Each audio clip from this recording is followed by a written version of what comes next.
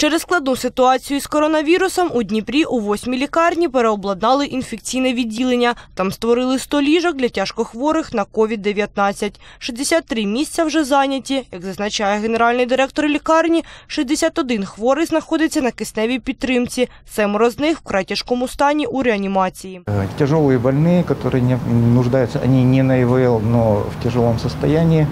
Это больные, которые в основном не вакцинированные. 95% э, пациентов это не вакцинированные больные. У Дніпрі вже вісім лікарень мають ковід-станції. Всього у місті близько двох тисяч ліжок. Наразі на стаціонарному лікуванні перебуває більше тисячі осіб. В департаменті охорони здоров'я населення міськради зазначають, всі ці лікарні забезпечені необхідним. Зараз на стаціонарному лікуванні на цих ліжках перебуває 1276 пацієнтів з ковідом. Е, Завантаженість складає 65%. За останній час ми збільшили кількість ліжок, відкрили восьму лікарню для госпіталізації. І да, якщо стане потреба в збільшенні ліжок, ми будемо збільшувати.